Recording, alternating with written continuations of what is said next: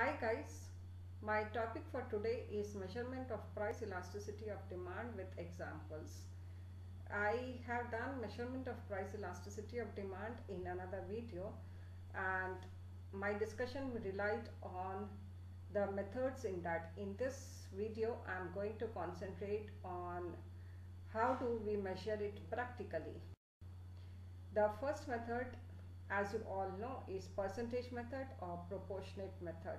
It is also point elasticity because we calculate elasticity at a particular point on the demand curve. The formula is percentage change in quantity demanded upon percentage change in price. In terms of proportion, we have delta D upon delta P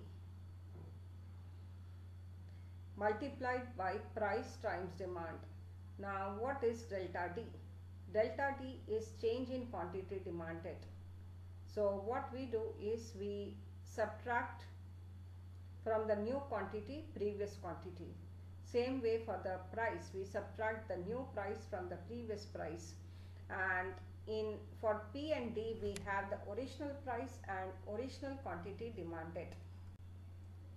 So we try to calculate elasticity for uh, this curve. It shows demand for ice cream and we have the price.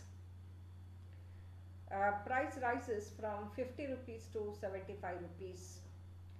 The demand contracts from 10 to 8 so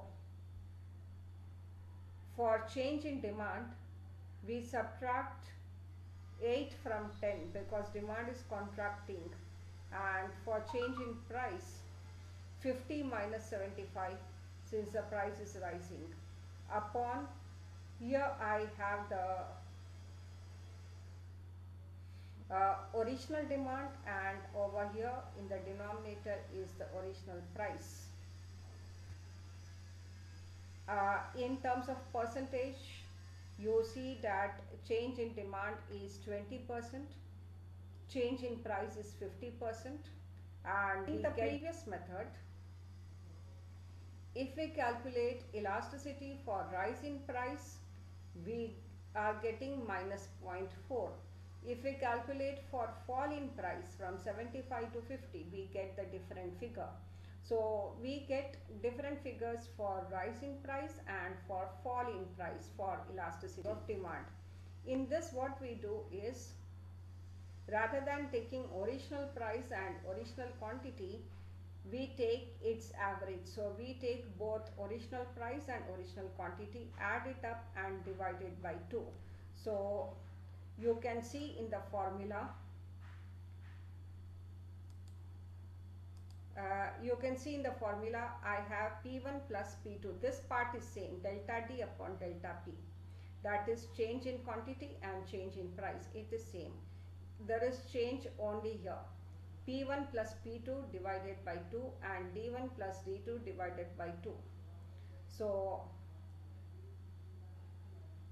on simplification this 2 2 will get cancelled that is division by 2 and what we have is Q2 minus Q1 which is nothing but delta D that is change in quantity demanded and P2 minus P1 which is nothing but delta P and P1 plus P2. So what we are doing is rather than having only one original price we are taking both the prices and here in the same way in the denominator we are having both the quantity demanded.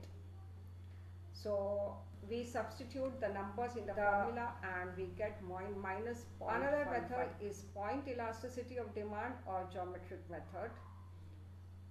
In this also we try to calculate elasticity at a particular point on the demand curve. So we have the demand curve, it is extending from D to E and what we do is we extend it further till it touches y axis at point A and from here also we extend it further till it touches the x-axis at point B. We have the center point C. The formula is lower segment of the demand curve upon upper segment. At point C, lower segment is equal to the upper segment. So at point C, elasticity is equal to 1. At point D, lower segment is big, bigger, dB. Upper segment is dA.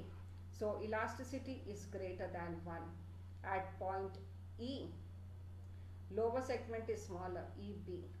And upper segment is EA which is bigger. So elasticity is less than 1.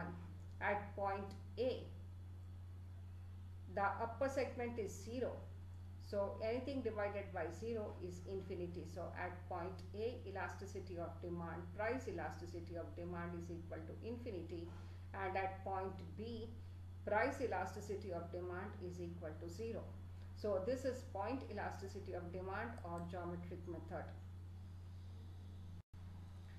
The last method is total expenditure method or total outlay method. In this what we do is we calculate the total expenditure of the consumers or the total revenue of the suppliers or the sellers. So if price is 10, total demand in the market is 100, total expenditure of consumers is 1000, price falls to 9, total demand extends to 120 and total expenditure increases to 1080 so as per total expenditure method, if there is increase in total expenditure with the fall in price, we say there is elastic demand. Demand is said to be elastic. So here the price is falling, but the total expenditure is increasing and the demand is elastic in the red. The first two rows. Then after that, price is again falling from 8 to 7 total expenditure has remained constant and therefore it is unitary elastic demand 1120 again price is falling from 6 rupees to 5 rupees 5 rupees to 4 rupees but total expenditure is declining. And there in in this range the demand is said to be inelastic. Thank you for watching guys.